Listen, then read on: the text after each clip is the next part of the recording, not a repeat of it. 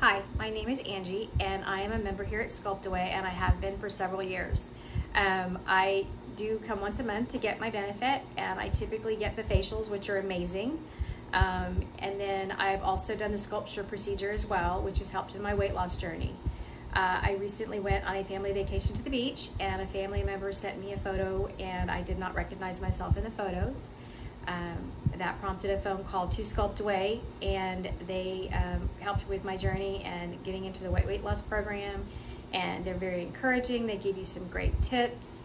Um, if you have any questions, you can call and ask them. They have they're very supportive and encouraging in the whole process, and I love it. I am down um, over 25 pounds. I'm three pounds from my goal, um, which hopefully will be in the next week or so. Uh, that has taken me uh, just a little, right about four months to achieve that goal, but it actually has been a lot easier with the encouragement and tips that the girls here. have